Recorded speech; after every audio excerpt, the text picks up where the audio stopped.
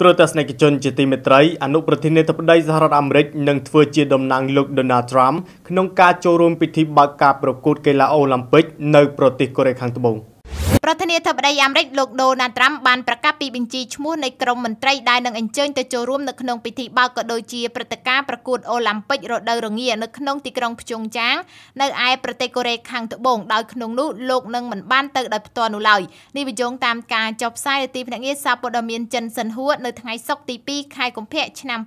2018បាទតាមសេចក្តីថ្លែងការណ៍របស់សតវិមានអនុប្រធានាធិបតីអាមេរិកលោក Mike Pence និងជាអ្នកដឹកនាំគណៈប្រតិភូជាមួយនឹងភរិយារបស់លោកគឺលោកស្រី Karen Pence ដែលជាសមាជិកម្នាក់ដែរនៅក្នុងក្រុមមន្ត្រីជំនួសមកឲ្យលោក Donald Trump គូជំរាបថាព្រឹត្តិការណ៍ប្រកួតកីឡាអន្តរជាតិនេះត្រូវក្រុងធ្វើចាប់ពីថ្ងៃទី9ដល់ថ្ងៃទី25ខែកុម្ភៈឆ្នាំ